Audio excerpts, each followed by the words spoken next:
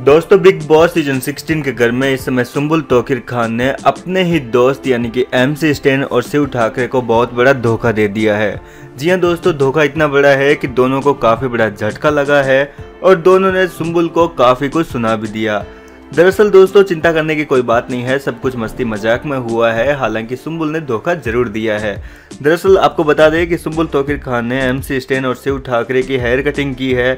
और जब शिव ठाकरे और एम सी स्टेन ने सुम्बुल को पहले ही पूछ लिया था कि क्या उसे हेयर कट करना आता है, इस पर सुम्बुल ने कह दिया कि वो काफ़ी अच्छा हेयर स्टाइल कर देती है, काफ़ी अच्छी हेयर कट भी करना जानती है, और उसने पहले भी कई कंटेस्टेंट की हेयर कटिंग की है। ये सुनकर दोस्तों शिव और एम सी स्टेन को यकीन हो गया कि सुम्बुल ये काम कर सकती है। अगर उसने पहले से किसी का किया हुआ है ये काम तो फिर वो आराम से कर लेगी। लेकिन दोस्तों, यहाँ पर पहले तो शिव ठाकरे की कटिंग यहाँ पर सुम्बुल ने बना दी, जिसकी की शालीन बनोट ने भी तारीफ़ की और कहा कि परफेक्टली सेट हो गया है। वहीं दोस्तों, इसके बाद एम सी के बालों की कटिंग भी सुम्बुल ने कर डाली। हालाँकि एम सी जैसी कटिंग चाहते थे, वैसा तो सुम्बुल नहीं कर पाई, लेकिन ठीक ठाक तरीके से बाल सेट कर दिए।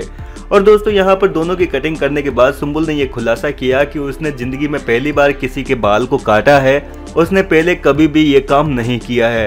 ये सुनने के बाद स्टैन और शिव ठाकरे दोनों एक दूसरे की शक्ल देखने लगे और सुम्बुल पर बुरी तरीके से चिल्ला बैठे और कहने लगे कि तुझे क्या लगता है, हम जानवर है जो तूने सबसे पहले हमारे ऊपर ये एक्सपेरिमेंट किया है।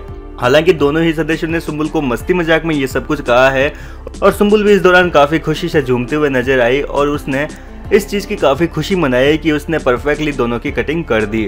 फ़िलहाल दोस्तों, आपको सुम्बुल की बात कैसे लगी कमेंट करके ज़रूर बताइए। यदि आप इन तीनों के फैंस हैं तो वीडियो को लाइक करना ना भूलें।